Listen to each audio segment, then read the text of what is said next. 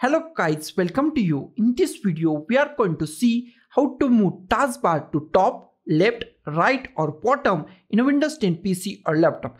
I give two simple methods to move your taskbar. So let's go. First method is very simple. Just go to your taskbar, right click on your taskbar. Here we find taskbar settings. Just click on the taskbar settings. Here we find our taskbar settings. Here is the our taskbar is now bottom. Now just change it to left. Now it is on the left now moves to the top. It is on the top. It is on the right. Then just click on the right.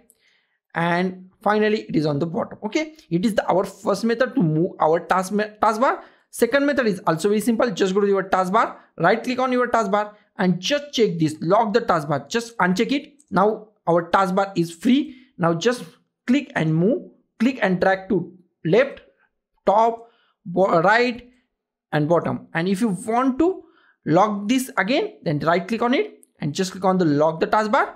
So guys this is the simplest way to move taskbar to top left right bottom in windows 10 pc or laptop. So guys thank you for watching this video. Don't forget to like share comment on this video and don't forget to subscribe the channel. Thank you guys